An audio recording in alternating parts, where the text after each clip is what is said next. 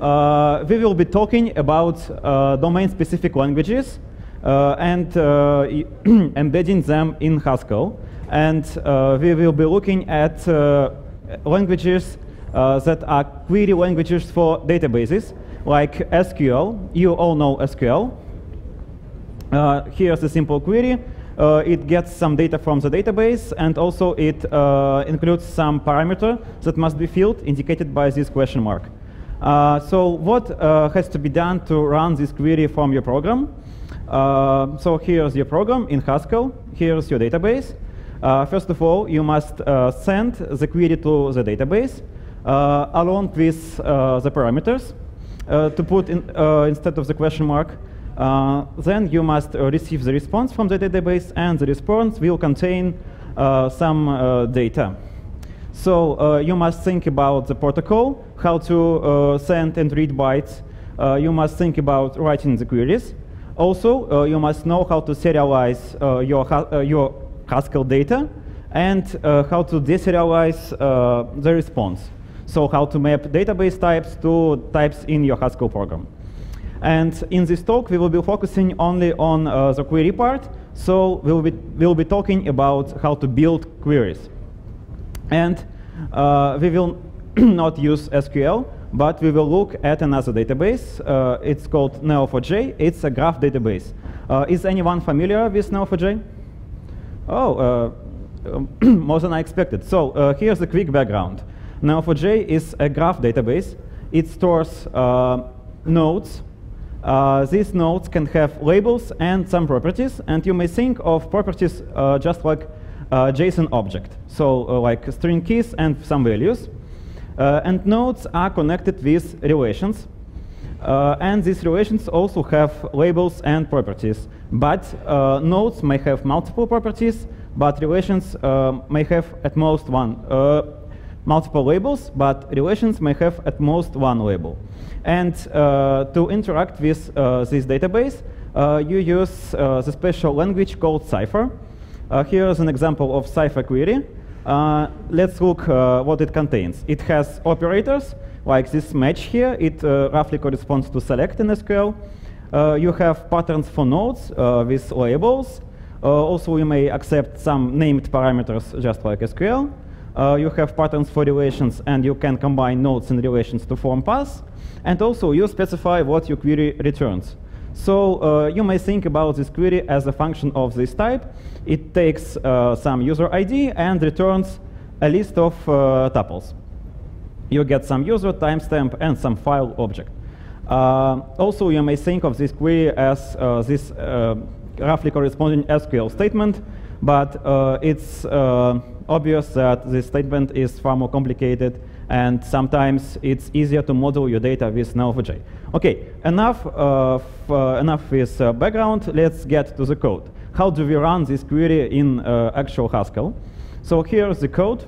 For example, you write your query in uh, your uh, code as a string. by the way, what does this query do?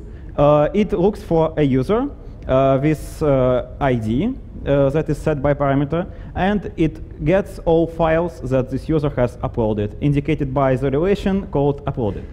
Okay, um, then you just connect to the database, run the query, um, specifying the parameters, and get the result and parse it.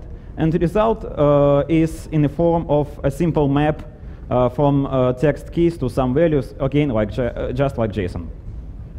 And all of this is implemented in um, package called hasbolt, maintained by us, by uh, Biocad, and uh, it's uh, uh, on Hackage, and you may use it. But, uh, of course, there are strings, and no one likes to write strings in their code.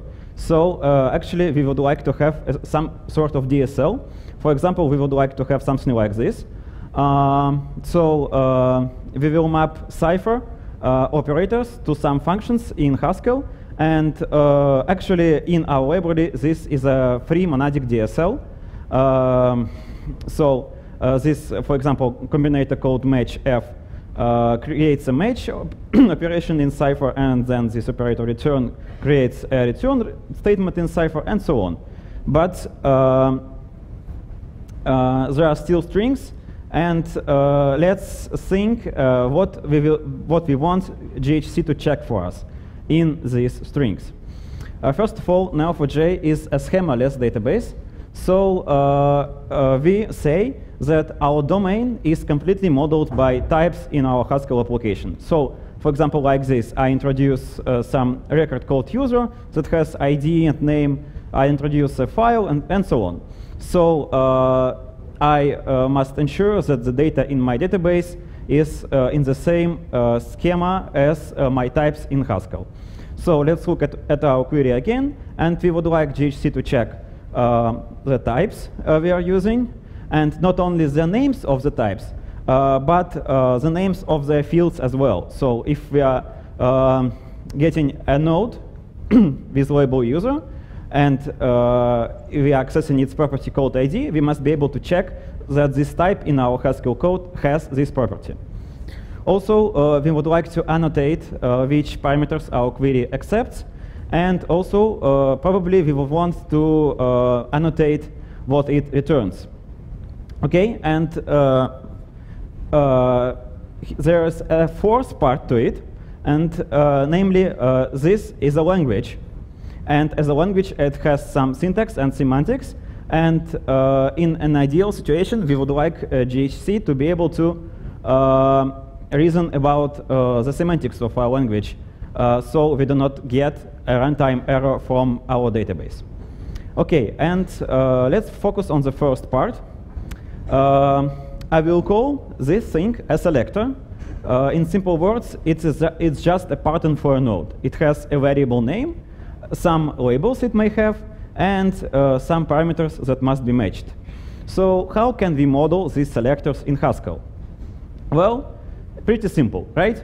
Uh, selector for nodes, selector for relations, they uh, are simple records they, that have variable names, some labels, properties, and node selector has uh, multiple labels, and relation selector has at most one, which we model as a maybe.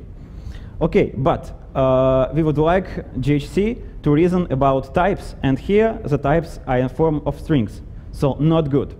Uh, therefore, we introduce a type level parameters to our selectors, like this.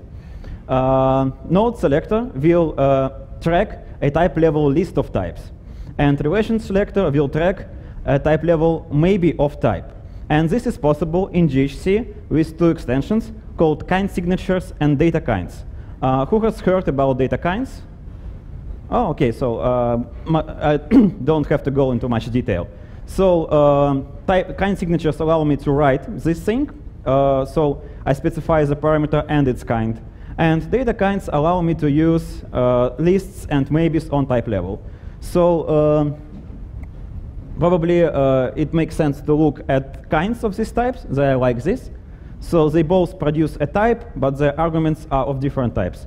And for comparison, here's the kind of maybe. It's just a simple function, uh, type level function sort of, that takes type and produces another type. Okay, uh, but uh, our selectors are actually pretty similar in Cypher. And uh, how do we want to use them? How do we want to construct these selectors? For example, something like this, we would like to start with an empty selector, add some data to it, like, like, some variable name, some uh, label type name, and here we are using type applications to uh, refer to actual type in Haskell, and add some parameters. Okay, uh, and we would like to work with relation selectors in the same way, so we must introduce a type class and we want to make instances of this type class for both kinds of selectors. And therefore, uh, my type class should refer to a something uh, with unknown kind. And so I must make it polymorphic in kind. And this is possible in GHC by extension called polykinds. Okay, so it allows me uh, to write this kind variable here. And uh, later I will specify what k stands for. Now, uh, this identifier method is pretty simple. It takes a text and uh, it does not care about the types. But for example, with label, it takes a selector with some types already and it must add a new one. So what do we put here? The question mark represents some, uh, something of kind k. And uh, this prop is even harder, uh, this property, because it must check that the property with this name, represented as text here, is actually present in uh, the labels we have defined for our selector. The same goes for this param. So uh, here's the second take on our type class. And now we must add not only methods, but uh, type families. And uh, if you heard about data kinds, probably you all know what type families are, so I will just proceed. Uh, so we add this type family called CanAddType. It takes something of type uh, of kind k and generates a constraint. And this constraint will assert if a selector may take one more type. Okay, uh, so um, moving on. Uh, yeah, uh, this is enabled with GHC extension called type families, nothing new. Okay, um, later, uh, a new type family called add type that will actually add a new type to our uh, to our list of types of kind k. So, uh, but with a trick. It needs a so-called injectivity annotation enabled with type family dependencies, and this little trick will enable uh, type inference. So uh, we will not have to add any annotations, and GHC will understand anything, everything. And uh, the last bit is um, uh, the has field constraint that will um, check that we can uh, access a property in our types. Okay, using these families, we can rewrite our um, uh, signatures like this. So this label, for example, gets a new constraint and uses a family add type in its result. The same goes for this prop, but there's still a problem here because um, we have text and we have type level name of the field. And they must somehow uh, know about each other. So what do we do? I propose a simple solution. We introduce a new type, a new type over string. And this new type will be tagged by type level string, uh, which is called symbol in Haskell. So uh, S symbol S stands for singleton, and I demand that uh, the runtime value of the string is equal to, the, to its type level tag. And when I uh, have this uh, new type, I can uh, use it in my signature. So, so um, GHC will correctly infer what type to use, uh, what type level string to use in the constraint. Okay, uh, but how to actually produce values of this symbol s? We need some nice syntax to use our library. And uh, to that, uh, there is a wonderful extension called overloaded labels, which allows me to write something like this. So uh, this syntax here, a hash and some string, is enabled with extension called overloaded labels. Have you heard about it? Oh, yeah, great. So uh, something new for you. Uh, what it does, it looks at the string, here it is user ID, and it looks at the type which is expected at this position. So um, earlier I said that this prop is uh, expecting a symbol s. So it will look for an instance of class isLabel, which uh, binds together uh, symbol uh, and its name. So in, in this instance, we can use a function symbol val from GHC TypeLits, which just gets our type level string to runtime string. So uh, by this nice syntax with uh, hash signs, we are able to uh, actually get named arguments for our functions. You, you may think about it like this. so um, even uh, if not for DSLs, you may use this technique to add named arguments to your functions every day. And if we define another instance of this type class, now for node selectors, uh, you may even write it like this. So the first one, uh, hash user, uh, is a type of uh, is of type node selector. GHC will know it. It will infer. And uh, the second one is of type symbol s. and they are both in one expression and GHC is not confused. Uh, I think it's pretty nice. And okay, uh, of course, uh, the whole uh, expression is of type node selector, and it has uh, just one type level tag. It, refers to the type called user in my program. Okay, uh, now uh, we have learned to um, define uh, selectors with variable names and uh, to uh, add properties to them. But there is uh, still one more problem, namely, I have a with label function, which adds a new type level tag to my to my selector. But to generate the actual query, I need to know the name of this type as a string. Okay, uh, is it possible to do in Haskell? Of course it is.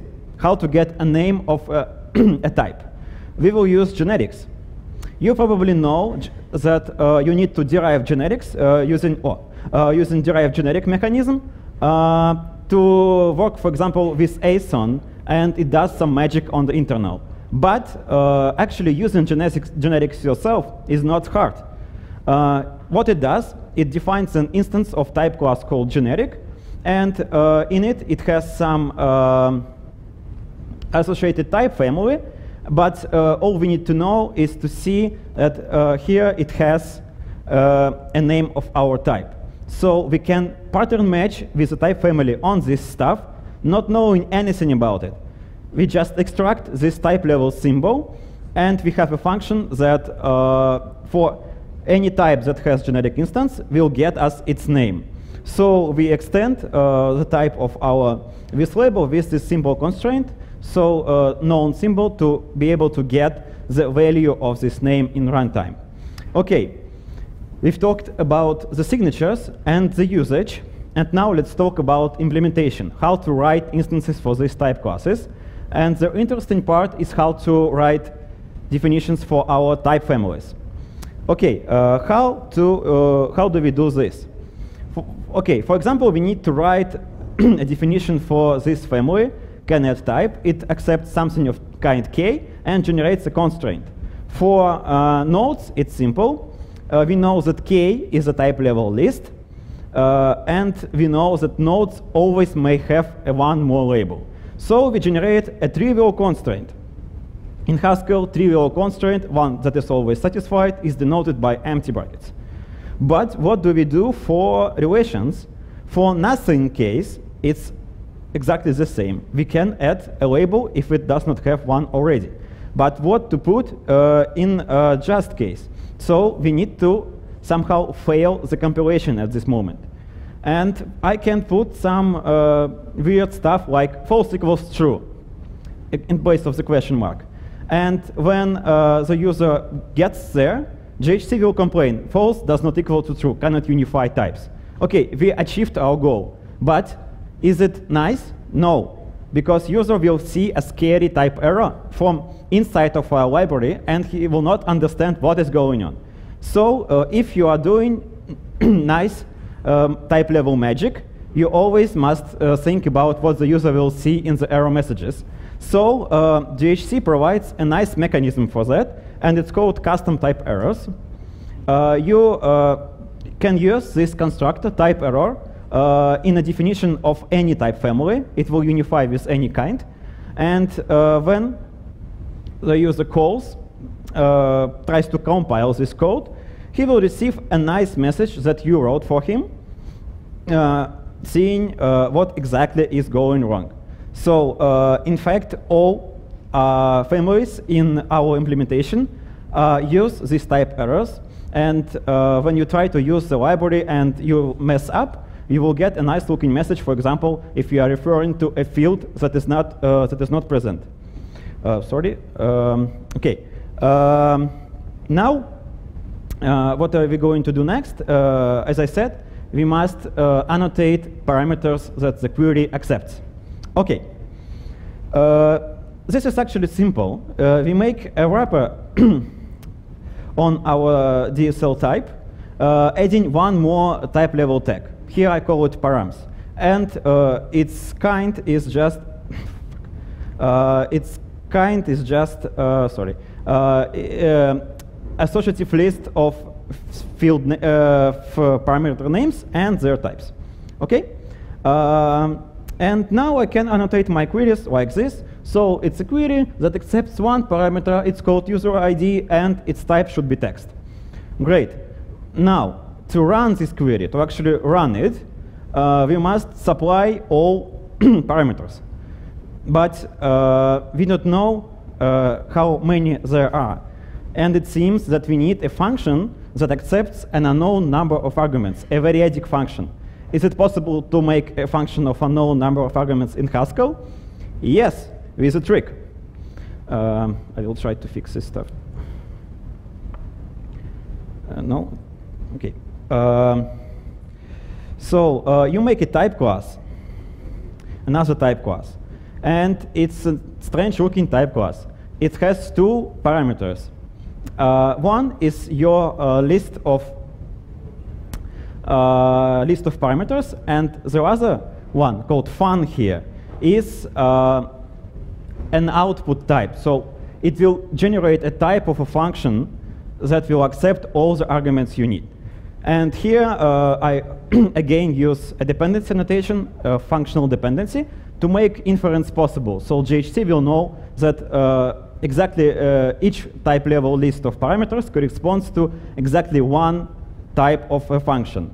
And implementation is not hard. Here we have an accumulator function, uh, accumulator value, that will collect uh, parameters in runtime. And uh, output type is uh, unknown. So it may also have more errors in it, more arguments. For example, I will show you the recursive case. And here, it's a simple recursion, but on type level. You see, I pattern match on my params. I pattern match its head here. And uh, while doing this, I also uh, prepend an argument to my output function. Okay, uh, and also it binds the name. So I generate a function of multiple arguments, and also these arguments are named. Okay, and uh, if I define a simple uh, runner for this function, which supplies an empty accumulator, like, okay, like uh, a function to reverse a list, something like this, almost the same. And now I can run my queries like this. And GHC will check uh, that I filled all parameters with correct names and with values of expected types as I want. Okay, now um, we've done two things. We uh, typed uh, our selectors, and uh, we've typed um, our parameters. What's next is um, typing return record. Okay, let's see what we have now. Uh, we can uh, run this typed query, supplying typed parameters, but we still use strings to decode the result. Okay, uh, no one likes to write strings, because, for example, uh, in my project, we separate the queries and the code that runs these queries in two separate modules. So when you actually call it, you must go in another file and look through the code which uh, fields it will return. And you always make mistakes with it. Okay, and also you notice that I use this unsafe operator from lens that will throw me a runtime error. if I trying to access a parameter that is not present, a field. Okay, and of course no one wants runtime error, errors if they are preventable. I want a compile time error. And uh, this is not yet implemented in our library, but uh, the way is the same as parameters. We just add another type level annotation with another associative list. Okay, now let's look what we have achieved. Uh, on the top is uh, the raw query as a string. And on the bottom is uh, the actual code in our current version of the DSL. Here uh, you can see the selectors. And if you look hard enough, you, you, will see that there are uh, the same uh, arrow-like symbols as in Cypher, but in our Haskell, and everything is checked. And for example, you, you can't join a node with another node without a relation in between, which would be an error in Cypher syntax. Okay, and uh, for example, uh, if we imagine this is how it could like uh, look like uh, if we add annotations for the return values, but we are still not there. There's still a problem. Uh, in fact, there are many problems, and uh, now we are getting to the most fun and interesting part, because uh, we've talked about external stuff. We've talked about referring to types uh, in uh, our Haskell definition of our domain. We've talked about parameters and returns, but uh, we did not uh, talk about the syntax and semantics of the Cypher language itself. And I uh, remind you, we are making a DSL. So uh, here, for example, uh, is the same string, but compiler does not check that is that is actually is the same. So uh, it complete is completely up to us. the same goes for return values. So the string I write in uh, the body of my query and the one in annotation must be the same and it is not checked. Okay, but uh, perhaps the most uh, hard part is uh, that my language, my language Cypher, it has variables. And uh, so here I am defining a variable called user, and later I'm using this variable and no one checks that I am using the variables that are previously defined. And if I make a typo or use one wrong name for my variable, I will get a runtime error from the database. And I would not like to do that. I want GHC to check uh, that my query is correct. And uh, what it means uh, is that we will use the GHC, which is a compiler for Haskell language, to check, to type check another language. And moreover, it, not a lambda calculus-like language, which you see in every tutorial on this stuff, but a completely alien language to Haskell, a query language for a database. So uh, how can we approach this problem? I propose a solution like this. Uh, we add, of course, more type tags. Uh, so I will make a type for a statements. So one row, one line in my query. And I will annotate uh, the statement with three type level tags. Uh, first of all, I will annotate what variables in the whole query this statement uses. In other words, these are the free variables of my query. Okay? Also, I will annotate what labels, uh, what variables my uh, query defines, so it's new variables. And uh, just uh, I will need to define what fields the whole query will return. Um, now, for example, I may have these combinators. Uh, match takes uh, some selector, which uh, knows its variables, and generates a query that uses some free variables, defines some new ones, and does not return anything. And return, for example, it uh, uses a free variable of unknown name, unknown type. It does not define any new variables, and it returns the same thing. Okay? And uh, uh, the case of returning multiple variables is, of course, possible to do, but uh, the syntax would be a bit more awkward uh, because uh, we would need to use heterogeneous lists in Haskell, and well, they always look a bit more ugly than nice syntax for lists. Okay. Uh, but the problem is that uh, I still want to write my queries like this. In do notation, uh, in sort of uh, free monads that I'm using, uh, which is actually just a writer monad in disguise, but still. Um, but you all know what this code means. It means application of sequential operator from the prelude. Yes, but this operator from the prelude is defined for any monad, and it does not know anything about our fancy types on uh, the statements.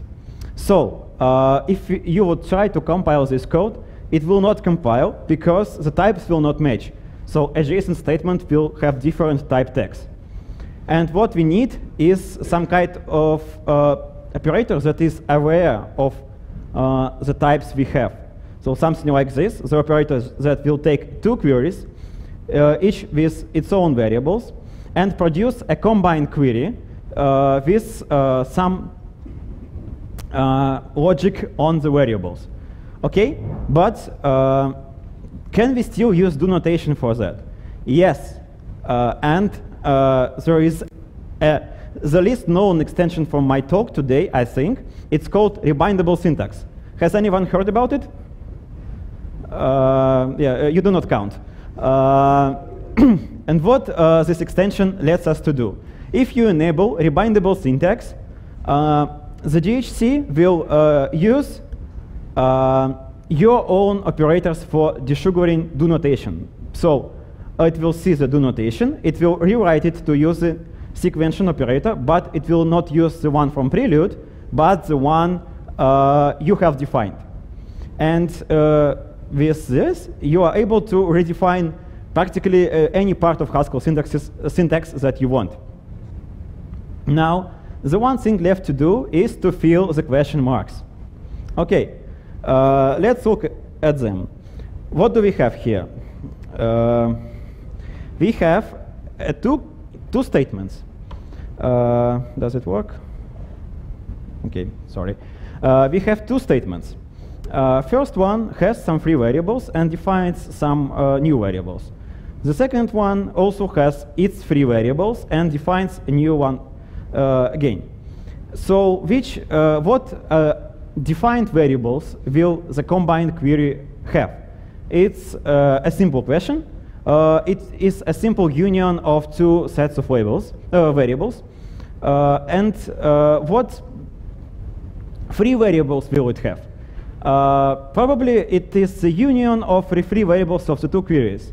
But uh, it may be the case that the second query uh, uses some variables that the first one defines.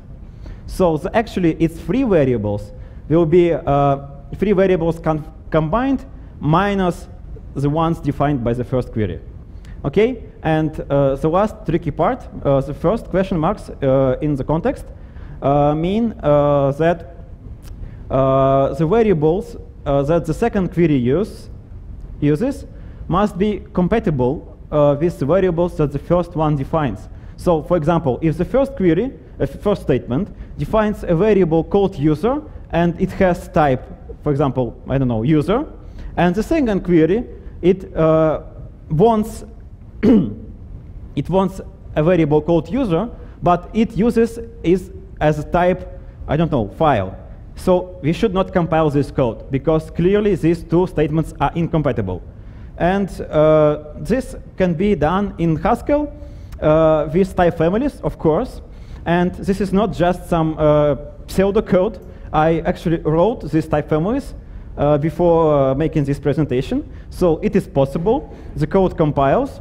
And uh, now I can have this code. For example, this statement it does not use any free variables. It defines something called file, something called user. And the second statement, uh, it uses a free variable called file and does not define any new free variables. I uh, combine them in do notation. And notice there is no annotation, and GHC is able to uh, infer the type. I copied it from, from GHCI. It correctly understands that this uh, query uh, does not have any free variables, so it's a closed query it uh, defines some free variables, uh, some variables, and it returns a list of uh, one field, user of type user. So uh, we have achieved uh, in theory and in practice, because this code compiles, uh, we have achieved a way to make GHC type check an alien language, which is not like Lambda calculus at all and it has variables with bindings and types. So uh, this is the end of my talk. Uh, here are some uh, useful uh, blog posts that uh, I have read, and without them I will would not make it. Uh, I would like to highlight the first link is to our library. It's called Hasbolt Extras. it's on Hackage and it's usable and it's used in production by us. Um, the second one, a wonderful book, Thinking with Types by Sandy Maguire, uh, which uh, describes everything that I have talked about and more. And uh, if you allow me, uh, the penultimate link to Squeal uh, presentation is uh, Squeal is an experimental SQL library for Haskell, and it is the one that gave me inspiration to try and go this way. Because I remind you, I am not from academia, I am industrial guy, and I got inspired by a talk by another industrial guy. And today, I hope that the only takeaway from my talk is that you get inspired by me. So thank you, and now uh, I can uh, have questions.